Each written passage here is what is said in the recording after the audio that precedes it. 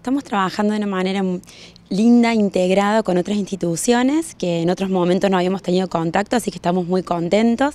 Eh, Eco Ciudadano es un programa impulsado por la Comisión de Mujeres Empresarias del CESIS, en conjunto con Plasticar, donde se busca fomentar la economía circular. Así que bueno, nos hemos sumado a esta propuesta tan interesante que tiene que ver con el reciclado de plásticos duros, donde en el PEAM se pueden entregar estos plásticos y posteriormente, cerca de fin de año, esos plásticos van a volver al PEAM, pero en forma de borradores para poder bueno, ver la utilidad de estos residuos y poder colaborar con el medio ambiente. ¿Y cómo surgió esta articulación y la posibilidad de sumarse al programa? Bueno, ya nos habían acercado la propuesta en, otras oportunidades, no se habían concretado, así que este año nos volvimos a sentar con la Comisión de Mujeres Empresarias, nos pareció muy interesante, así que recibimos en el PEAM a los chicos de Plasticar y a las chicas de Mujeres Empresarias, donde nos dieron una capacitación para conocer, porque eso es muy importante, el programa está atravesado por la educación en el reciclado y a partir de ahí, de la información, es que hemos armado un punto de reciclado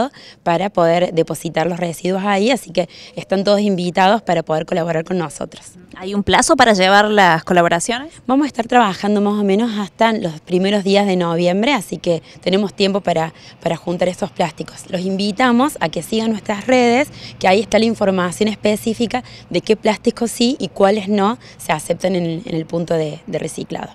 decía que a fin de año vuelven en formato de borradores. Exactamente, eso nos parece muy interesante porque muchas veces vemos que esto del reciclado tiene su buena intención, pero no sabemos a dónde va y bueno, y, tratar de, incorporar esto de la economía circular que vuelve ese material con, con otro uso.